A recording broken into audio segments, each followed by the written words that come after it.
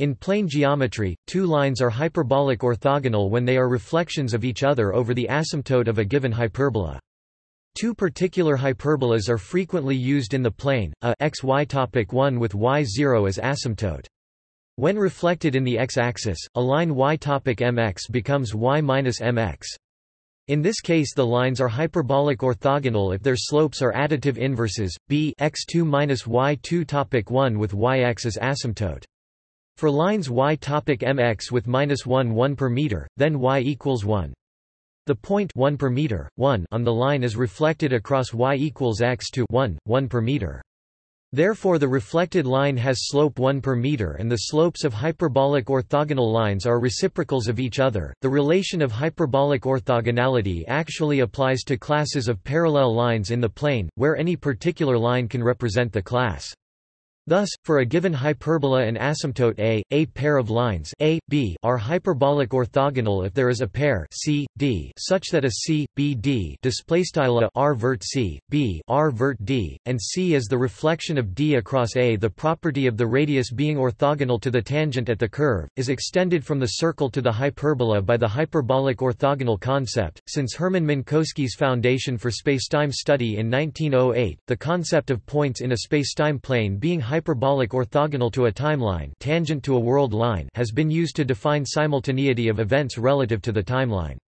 In Minkowski's development the hyperbola of type B above is in use. Two vectors x y z t and x 1 y 1 z 1 t 1 display style x y z t quad text and quad x underscore 1 y underscore 1 z underscore 1 t underscore 1 air normal meaning hyperbolic orthogonal when c 2 t t 1 minus x x 1 minus y y 1 minus z z 1 equals 0 Display style c caret 2 t t underscore 1 x x underscore 1 y y underscore 1 z z underscore 1 equals 0.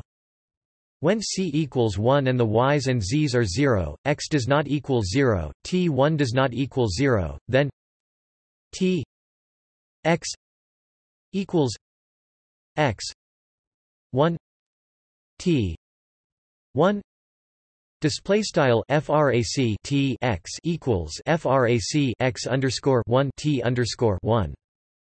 A bilinear form is used to describe orthogonality in analytic geometry, with two elements orthogonal when their bilinear form vanishes. In the plane of complex numbers, z 1 equals U plus I V Z two equals X plus I Y Display style z underscore one equals u plus iv quad z underscore two equals x plus i y. The bilinear form is x u plus y v. Display style shu plus yv while in the plane of hyperbolic numbers. W. 1 equals u plus j v w 2 equals x plus j y Display style W underscore one equals U plus JV, quad W underscore two equals X plus G. The bilinear form is X U minus Y V display style shu Y V The vectors z1 and z2 in the complex number plane, and w1 and w2 in the hyperbolic number plane are said to be respectively Euclidean orthogonal or hyperbolic orthogonal if their respective inner products bilinear forms are zero. Given a hyperbola with asymptote a, its reflection in a produces the conjugate hyperbola. Any diameter of the original hyperbola is reflected to a conjugate diameter. The directions indicated by conjugate diameters are taken for space and time axes in relativity.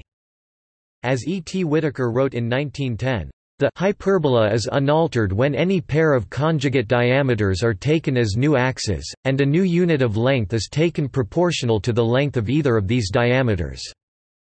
On this principle of relativity, he then wrote the Lorentz transformation in the modern form using rapidity. Edwin Bidwell Wilson and Gilbert N. Lewis developed the concept within synthetic geometry in 1912. They note, in our plane no pair of perpendicular hyperbolic orthogonal lines is better suited to serve as coordinate axes than any other pair. The notion of hyperbolic orthogonality arose in analytic geometry in consideration of conjugate diameters of ellipses and hyperbolas. If g and g represent the slopes of the conjugate diameters, then gg equals minus b2 a 2 display style gg equals frac b caret 2 a caret 2 in the case of an ellipse and gg equals b2 a 2 display style gg equals frac b caret 2 a caret 2 in the case of a hyperbola. When A equals b the ellipse is a circle and the conjugate diameters are perpendicular while the hyperbola is rectangular and the conjugate diameters are hyperbolic orthogonal.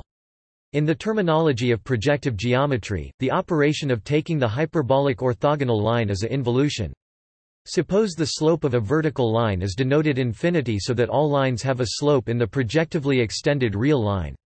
Then whichever hyperbola a or b is used, the operation is an example of a hyperbolic involution where the asymptote is invariant. Topic references G. D. Birkhoff 1923 Relativity and Modern Physics, pages 62, 3, Harvard University Press. Francesco Catoni, Dino Boccaletti, and Roberto Cannata 2008 Mathematics of Minkowski space, Birkhäuser Verlag, Basel. See page 38, Pseudo-orthogonality. Robert Goldblatt 1987 Orthogonality and Spacetime Geometry, Chapter 1, A Trip on Einstein's Train, Universitext Springer Verlag ISBN 0-387-96519 XMR08888161JA. Wheeler, C. Misner, K. S. Thorne 1973. Gravitation. W. H. Freeman & Co. p. 58. ISBN 0-7167-0344-0.